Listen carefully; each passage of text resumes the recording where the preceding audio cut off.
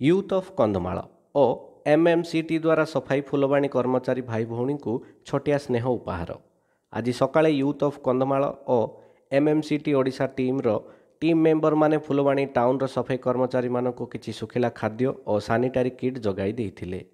ଯେଉଁ ଭାଇ ଭଉଣୀମାନେ ଆମ ଅଞ୍ଚଳକୁ ସଫା ରଖିବାର ଦାୟିତ୍ୱରେ ଅଛନ୍ତି ଯେଉଁମାନେ କି ଏହି ଦୁର୍ଦ୍ଦିନ ପରିସ୍ଥିତିରେ ମଧ୍ୟ ନିଜ କର୍ତ୍ତବ୍ୟ କରିବାକୁ ପଛେଇ ନାହାନ୍ତି ଯେଉଁମାନେ କି ସବୁବେଳେ ପରଦା ଆଢ଼ୁଆଳରେ ରହିଯାଆନ୍ତି ଯେଉଁମାନଙ୍କୁ ସମାଜ ସବୁଠାରୁ ତଳ ସ୍ତରରେ ରଖିଥାଏ ଯେଉଁମାନେ କି ନିଜ କାର୍ଯ୍ୟ ଅନୁସାରେ ଉଚିତ ପ୍ରାପ୍ୟ ପାଇନଥାନ୍ତି ସେହି ଭାଇ ଭଉଣୀମାନଙ୍କ ପାଖରେ ଆଜି ପହଞ୍ଚିବାର ସୁଯୋଗ ପାଇଥିବାରୁ ନିଜକୁ ଧନ୍ୟ ମନେ କରୁଛନ୍ତି। ଧନୀ ପାଇଁ ସମସ୍ତଙ୍କ ଦ୍ୱାର ଖୋଲା ହେଲେ କିନ୍ତୁ ଗରିବଙ୍କ ନିମନ୍ତେ କ'ଣ? ଏହି ପ୍ରଶ୍ନର ଉତ୍ତର ଆମେ ନିଜେ ଖୋଜି ବାହାର କରିବା।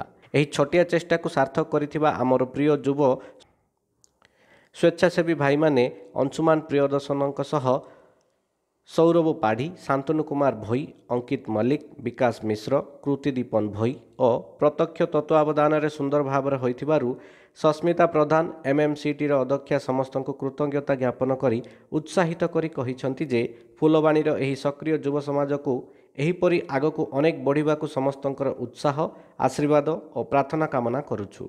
ଘରେ ରୁହନ୍ତୁ ସୁସ୍ଥ ରୁହନ୍ତୁ ବାରମ୍ବାର ହାତ ଧୁଅନ୍ତୁ କରୋନାଠୁ ଦୂରେଇ ରହିବା ପାଇଁ ନିଜକୁ ସତର୍କ ରଖି ସରକାରଙ୍କର ସମସ୍ତ ନୀତି ନିୟମକୁ ମାନି ସହଯୋଗ କରନ୍ତୁ।